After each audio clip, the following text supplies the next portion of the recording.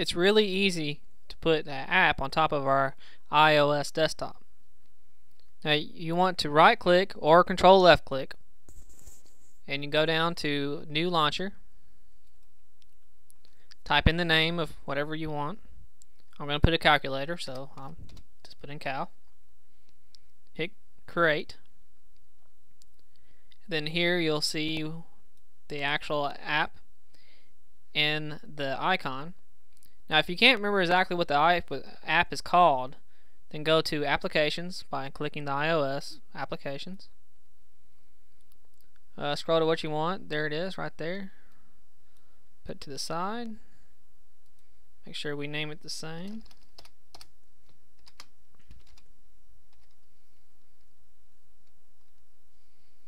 Let's find the right icon for us.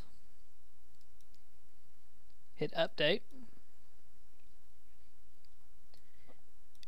and then you'll probably have to either log in or out or hit refresh on your browser for it to show up. But before you do that, uh, make sure that if you have any documents open, like uh, eyeDocs or iSpreadsheet, um, make sure that you save them. Um, you might lose them otherwise. Hit refresh now.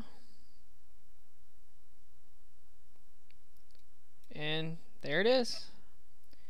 Now let's say we get tired of it and or any application on your desktop, you just simply right click and you'll see where it says delete launcher.